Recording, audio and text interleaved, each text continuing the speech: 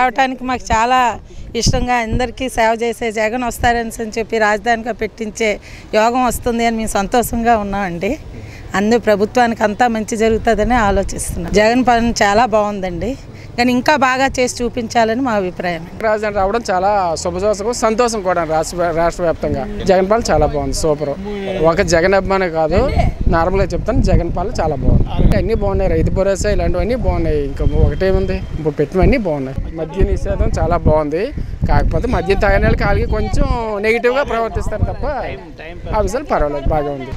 ఇతనికి ఇబ్బందులు ఎన్ని పార్టీ వాళ్ళు ఎదురు పెట్టినా కష్టపడి ఒక వాళ్ళు కాక మన ఆంధ్ర పేరు నిలబెట్టడానికి ఒక యూత్గా నిలబడి ఈరోజు సాధించింది. పథకాల విషయంలో వస్తే అది చాలా ఆలోచించి చేస్తాను ఒక బేరం లేకపోతే ఆ ట్యాక్సీ కట్టుకోలేని పరిస్థితిలో వాళ్ళకి పదివేల రూపాయలు ఇస్తాను అలాగే ఇప్పుడు మొగ్గాల పనులు లేవు. చేనేతలు ఎలా బతుకుతారు? అంటే వాళ్ళకి కొంచెం ఎంతో కొంత. రైతు భరోసా అనేది పది సెంట్లు ఉన్నా కూడా ఈ రోజు ఇస్తానంటే ఆ ఎరువులకైనా అది ఆధారపడుతుంది అప్పు విధానంలో ఉండక్కర్లేదు. కౌలు రైతులు కూడా చాలా ఇబ్బందులు కలగకుండా చూస్తుంది. ఇప్పుడు అయితే బాగుందండి. బాగుందంటే ఇసుక కొరత అన్నారు. అది కూడా కొరత లేకన్నా ఎంత ఒక ముప్పై కిలోమీటర్ దూరంలో ప్రతిదీ స్టాండింగ్ వేశారు. భీమిలిపట్నంకి అయితే చాలా మూల ఇది. దీనికి ఈరోజు ఇసుక ఇక్కడే స్టాకింగ్ పడిపోయింది. ఇక్కడే కాటా పడ్డదంటే చుట్టుపక్కల ఇటీవల ఒక ఇరవై ముప్పై కిలోమీటర్లకు ఇబ్బందులు జరగవు. ఎందుకంటే స్టాక్ ఇక్కడ ఎందుకు ఇది పడిపోయిన గ్రామం ఇది? ఇక్కడ ఇసుక దొరకటం అంటే చాలా కష్టం. బీచ్ తప్ప ఇంకేం లేదు. అలాంటిది ఇసుక స్టాండింగ్ ఇక్కడే పడ్డదంటే భీమిపట్నం ప్రజలు అదృష్టమంటలే తనకు కూడా ఈ మూల పడి అంటే లోతుగా ఆలోచించుకుంటే ఏంటంటే ఏ డెవలప్మెంట్లో వాళ్ళే నాయకత్వమైన ఆలోచనతో చేస్తాం పథకాల పరిస్థితి పర్లేదు మరి. అంతకంటే అతనికి ఎవరు ఏం మనిషి పెట్టలేరు కూడా పథకాలు. బాగానే ఉంది. అనుకున్నట్టుగా అతను అన్నీ చేస్తున్నాడు కాబట్టి ఇప్పుడు పిల్లలకి ఏది చేస్తున్నాడు అది రేపు వెళ్ళి వేసేస్తాను. అని ప్రస్తుతానికైతే చేసింది బాగానే ఉంది. ఇప్పుడు ఇదైతే చేస్తాను. పోయి మా భూమి పొట్లు కూడా పెరిగితే కూడా ఇంకా బాగుంది. చాలా బెస్ట్ ఇప్పుడు వచ్చి ఇంకా ఇప్పుడు వచ్చి అది లేదు. వచ్చిందంటే ఇంకా హ్యాపీగా అందరూ ఫీల్ అవుతుంది వస్తే మంచిదే. అందరికీ జాబ్స్ అవి వచ్చే అవకాశాలు ఉంటాయి. కాకపోతే మిడిల్ ఫ్యామిలీ వాళ్ళకి కొద్దిగా ఇబ్బందికరంగా ఉంటే ఉండొచ్చు అనుకుంటున్నాను.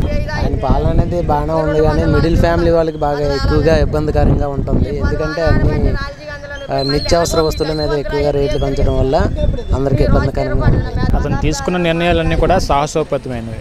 ఎందుకంటే ఇప్పుడు మనకి మూడు రాజధానులు అనేది ఒక విధంగా మంచి ఉంది చెడు ఉంది. ఎందుకంటే ప- మూడు రాజధానుల వల్ల ఏమవుతుందంటే ఆర్థిక వికేంద్రీకరణ జరుగుతుంది. అంటే అభివృద్ధి అనేది ఒకే ప్రాంతానికి పరిమితం కాకుండా ఇప్పుడు కర్నూలు కానీ అమరావతి కానీ ఇప్పుడు వైజాగ్ కానీ అంటే మూడు రాజధానులు ఉండడం వల్ల మూడు ప్రాంతాలు కూడా ఆర్థికపరమైన అభివృద్ధి వ్యాపారపరమైన అభివృద్ధి అన్ని రకాల సుస్థిర అభివృద్ధి అనేది జరుగుతుంది. దాని ద్వారా ఏంటంటే ప్రజల్లో కూడా అవేర్నెస్ రావడం ప్రజలు కూడా వాళ్ళ యొక్క జీవన మనుగడలు అనేవి కొద్దిగా మెరుగుదల అనేది కనిపిస్తుంది.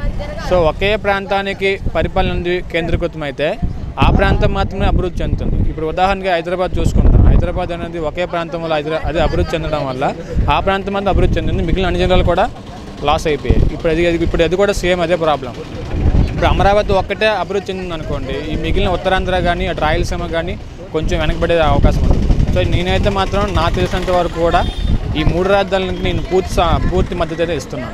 ఎందుకంటే పూర్తి మద్దతు నేను కేటాయిస్తున్నాను. ఒక మంచి నిర్ణయం. ఎందుకంటే ఆర్థిక వికేంద్రీకరణ జరగాలి. ఒకే దగ్గర కేంద్రీకృతం అవ్వకూడదు అభివృద్ధి అనేది. అభివృద్ధి అనేది ఎప్పుడు కూడా డిసెంట్రలైజేషన్ అవ్వాలి.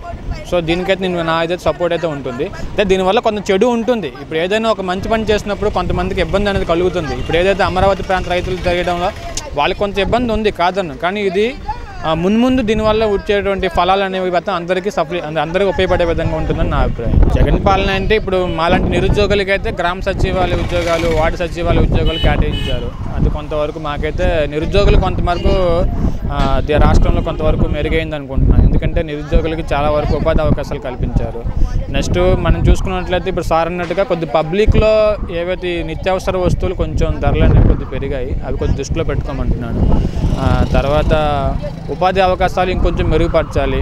నెక్స్ట్ ఈ కొన్ని కొన్ని భయాందోళనలు ఉన్నాయి. ఏ మూడు రాజధానుల వల్ల ఏమైనా భయాందోళనలు కలుగుతాయని చాలామంది ప్రజల్లో ఉంది. అవి కొంచెం లేకుండా వాళ్ళకి ఇంకా పూర్తిగా అవేర్నెస్ దీనివల్ల కలిగే ఉపయోగాలు వాళ్ళు ఇంకా విస్తృతంగా ప్రచారం కల్పించుకోవాలి. ఎందుకంటే లోకల్ బాడీస్ ఎలక్షన్స్ ఉన్నాయి. సో ఇవన్నిటిని దృష్టిలో పెట్టుకొని వాళ్ళు చేసే ప్రతి సంక్షేమ పథకం కూడా ప్రజల్లోకి వెళ్ళాలి. ప్రజల్లోకి వెళ్ళినప్పుడే వాళ్ళు అర్థం చేసుకోవడానికి అవకాశాలు ఉంటాయి. కానీ చాలామంది రాజకీయ పార్టీలు కొంచెం విస్తృ అంటే కొంచెం చెడు ప్రచారం జరుగుతుంది. అది కొంచెం దృష్టిలో పెట్టుకోమని నేను కోరుకుంటున్నాను. మీరెక్కడున్నా ఏం చేస్తున్నా ప్రపంచంలో ఏం జరుగుతుందనేది ఇప్పుడు మీకు పెట్లోకి తెచ్చేసింది one line app political movies రాశి ఫలాలు ఆరోగ్య సలహాలు సీరియల్స్ విశేషాలు. ఇలా ఒకటేమిటి? బోలెడన్ని విశేషాలను మినిట్ టు మినిట్ మీకు అందిస్తుంది one line app so late ఎందుకు? డిస్క్రిప్షన్లో ఉన్న లింక్ ద్వారా వన్ లైన్ యాప్ డౌన్లోడ్ చేసుకోండి. One line it's for every